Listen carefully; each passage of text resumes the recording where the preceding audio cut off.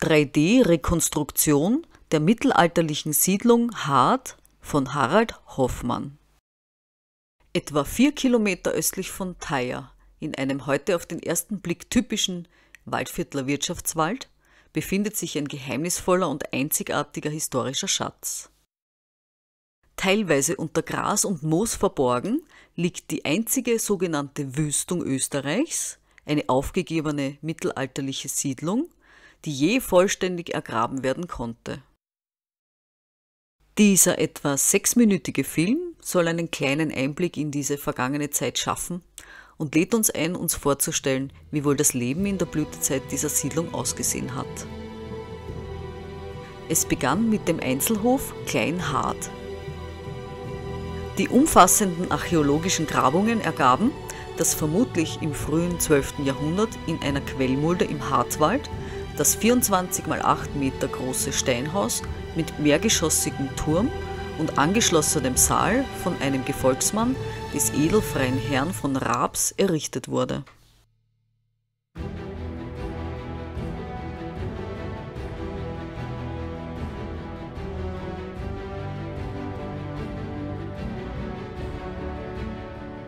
Der Meierhof war der Sitz des lokalen Dorfherrn.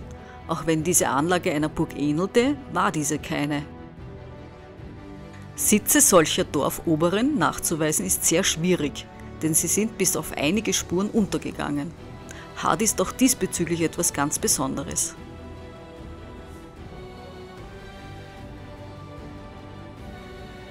Durch Pollenanalysen wurden Waldlichtungen für Ackerbau und Viehzucht nachgewiesen.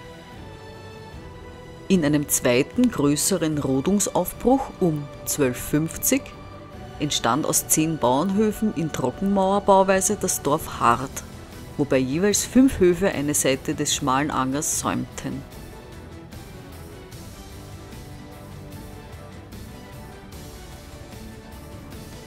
Diesen Brunnen, der die Bewohner des Meierhofes mit Wasser versorgte, wie auch die etwas nördlich gelegene Quellfassung, der die Dorfbewohner das benötigte Wasser entnahmen, sollte man sich unbedingt ansehen.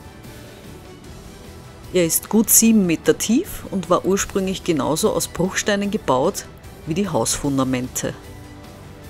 Auch die ebenfalls rekonstruierte Quellfassung am Dorfrand zeigt eine ähnliche Bauweise.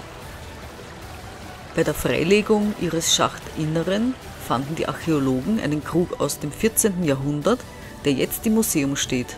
Ein schöner Fund, der gleichzeitig als Datierungshilfe verwendet werden konnte.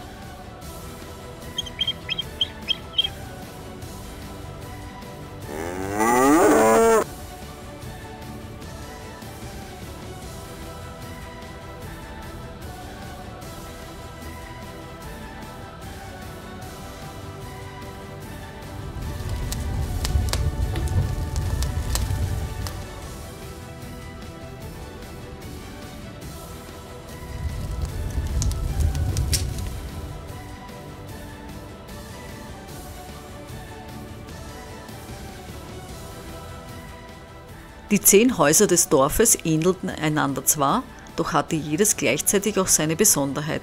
Schließlich war es auf die Bedürfnisse seiner Bewohner abgestimmt.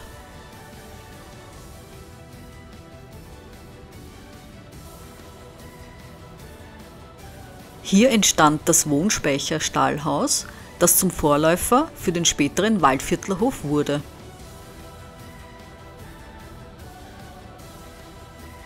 Ursprünglich dreiräumig mit Eingangsraum, Küche bzw. Wohnraum und Speicherraum und meist anschließend angebauten vierten Raum, dem Stallraum.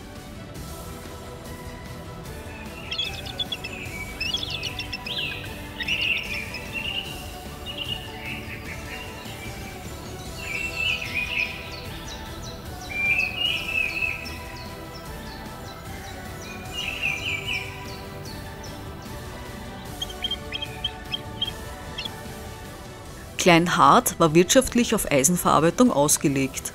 Raseneisenerz war sehr häufig zu finden.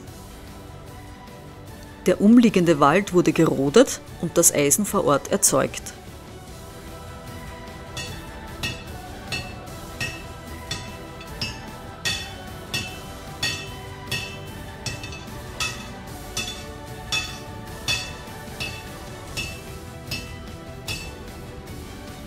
Die Schmiede lag am Rand des Herrenhofes, nahe dem Brunnen. Das dreiräumige Haus war vielleicht ganz aus Stein errichtet. Im vorderen Hausbereich befanden sich innen und außen hufeisenförmig gestaltete Herdstellen.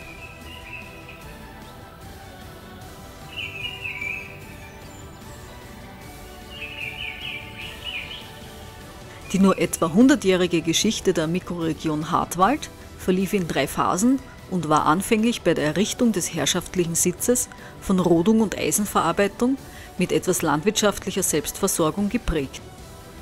Später bei der planmäßigen Gründung des landwirtschaftlichen Dorfes, von Ackerbau und Viehwirtschaft und endete schließlich mit der Aufgabe des Standorts.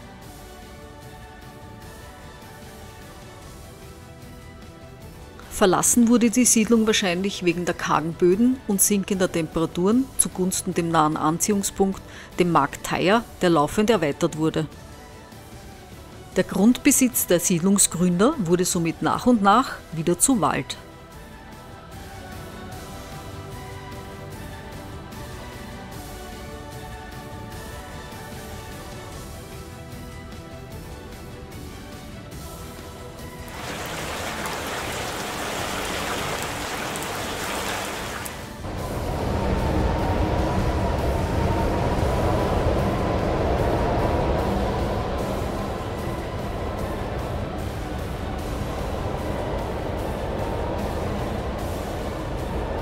Die beschilderte Ausgrabung kann ganzjährig frei besichtigt werden und lässt sich gut mit einem Ausflug ins Waldviertel verbinden.